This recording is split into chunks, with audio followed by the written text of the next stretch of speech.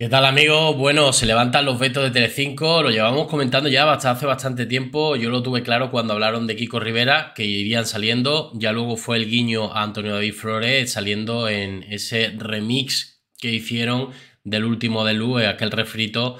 Y bueno, está clarísimo, está clarísimo que ya no, hay, no existen vetados, ni siquiera Sofía Suescun, que era ya una de las vetadas de las vetadas antiguas, de la única vetada antigua que había realmente era Sofía Soskun eh, desde el año 2021, que no entendimos muy bien, no sé qué pasó, de, influencer, eh, no llegaron a un acuerdo, no sé qué, y al final, bueno, la chica está que le va genial, que se va a comprar un casoplón impresionante. Bueno, vamos a ver exactamente qué ha sucedido, porque además Amor Romeira está sufriendo bastante al ver a Anabel Pantoja con Sofía Soskun y salía doparda, ¿no? A, voy a intentar hablar de estas dos noticias en una, porque al final eh, parece ser que lo pasó bastante mal en el día de ayer Amor Romeira eh, por comentar, recordar y revivir comentarios tránfobos por parte de Sofía Suescun hacia ella, hacia su persona. Y ahora al ver a su amiga Anabel Pantoja con ella, es como un shock, ¿no? En plan, oye, ¿cómo me haces esto, no? Sabiendo la que me lió, que la denuncié, que gané, en fin, todo esto. Bueno, Fiesta se salta el código ético de Mediaset, con lo que se ha colado en pantalla. Fiesta ha vuelto a hacer oídos sordos al código ético impuesto por Mediaset con una famosa que no aparecía en ningún programa de la cadena desde 2021. Ya os he dicho que desde que vi lo de Kiko Rivera, y aparte lo llevamos comentando hace mucho tiempo, esto no puede perdurar en el tiempo. No tienen una varita mágica para decir vamos a vetar a 10, 12 famosos de los más importantes de España, eh, a no ser que les fuera bien, pero como no les va bien, no pueden tomar esa decisión. Así que bueno, poquito a poco van retomando y yo me imagino que en una circular interna seguramente les habrá dicho que, bueno, esos famosos han sido eh, desconvocados, desvetados, ¿no? Podríamos llamarlo así. Quitando Rocío Carrasco, que creo que, a no ser que haya algo, pero no nos metáis con Rocío Carrasco ni con Fidel, a no ser que haya un embarazo, eh, yo que sé, un accidente o algo así, no os metáis con ellos porque son las que no nos han bajado la audiencia. Yo creo que quitando a Rocío Carrasco, el resto se puede hablar. Bueno, este sábado 29 de julio Fiesta se ha vuelto a sacar, saltar el código ético impuesto por Mediaset a todos sus programas. A principios de este año conocíamos una larga lista de famosos eh, vetados por la nueva cúpula de Mediaset España tras la salida de Pablo Basile, personajes que durante años han sido la base del contenido de numerosos programas de Telecinco, como Kiko Rivera, Rocío Carrasco, Antonio David Flores, bueno, Rocío Flores, Rosa Benito, Amador Moedano Bárbara Rey. Ninguno de ellos podía aparecer ni ser mencionado en ninguno de los espacios de la cadena, aunque hace unos días el programa Ana Rosa ya levantó el veto al hijo de Isabel Pantoja para informar de su reciente operación del corazón. Fiesta levanta el veto ahora a Sofía Suescun. Yo creo que a partir de ahora vamos a tener Sofía Suescun hasta en la sopa.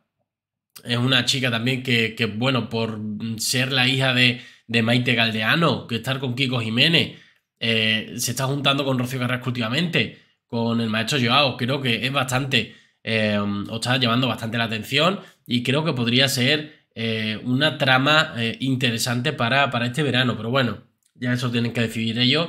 Sin embargo, Sofía Soskun no estaba en la lista, pues ya estaba vetada entre el 5 de 2021. Según se publicó, entonces Mediaset había decidido prescindir de ella al no aceptar ser representada por la agencia de influencer que tiene el grupo de comunicación. Este sábado, Fiesta sorprendía a la audiencia al mencionar por primera vez en mucho tiempo a la hija de Maite Galdeano.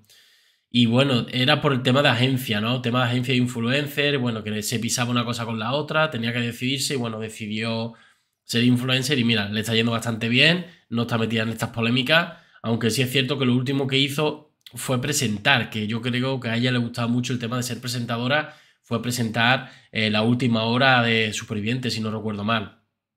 Bueno, el programa presentado durante el verano eh, por Marta Verdó y Fran Blanco, quería vender como una tradición Amor Romeira el encuentro que tuvo Anabel con la novia de Kiko Jiménez. Amor y Anabel mantenían una estrecha amistad desde hace mucho tiempo, pero la relación entre la colaboradora de fiesta y Sofía Soscún es eh, todo menos buena, incluso la influencer llegó a ser denunciada por la Canaria. Bueno, aquí nos metemos en otra, eh, en otra información para terminar de cumplimentar esta, esta información que es lo que ha pasado.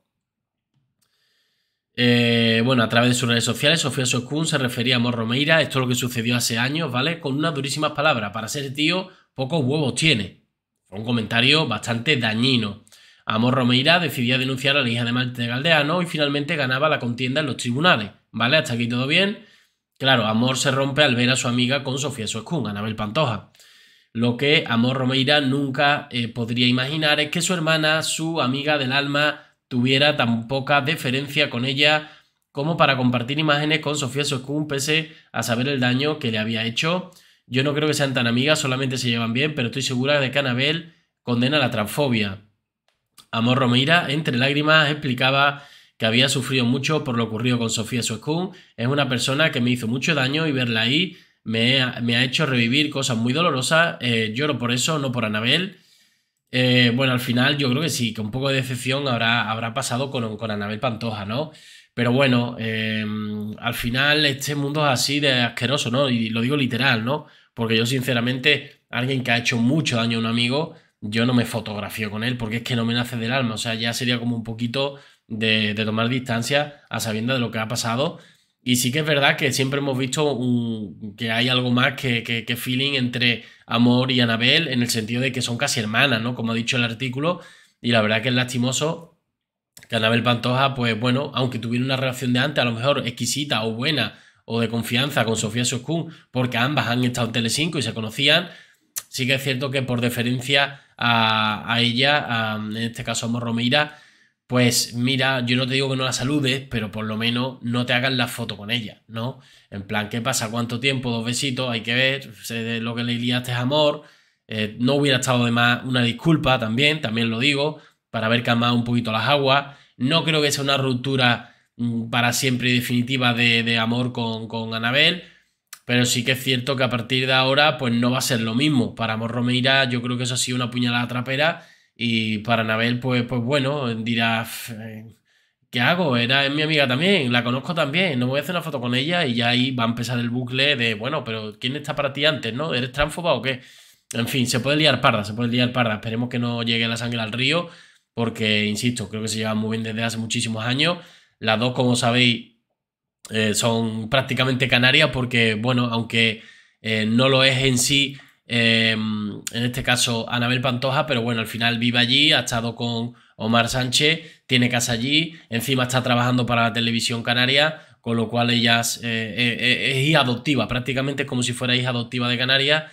Y la verdad que bueno, tenían un trato, pues, pues bueno, casi a diario. Las hemos visto en historias de Instagram juntas, dándose besos, abrazos, compartiendo fiestas, compartiendo eh, bueno, eh, intimidades que les han pasado a las dos. Y bueno, es una lástima que por haberse hecho una foto con, alguien con la que no se puede ver por, por temas de denuncia, como es Sofía Sokun, se vaya todo al traste. Yo me imagino que, podrán hablar y llegar a un entendimiento, que espero que Anabel Pantoja le pida disculpas, porque es verdad que ha estado bastante feo eh, hacerse una foto con una persona que ha llamado a tu mejor amiga. no tiene huevo, o sea, algo así como que tiene, no tiene huevo, pese a tenerlos o algo así, como haciendo alusión a que eres un chico, un comentario trafo bastante feo. Y yo creo que ahí sí que es verdad que debería haber estado un poquito más avispada Anabela, sabiendo de que esto podía llegar, eh, esas fotos al final van a llegar a Amor Romeira, ¿no? Mi gente, nos vemos en el siguiente vídeo. ¿Qué os ha parecido esta noticia? Un saludo.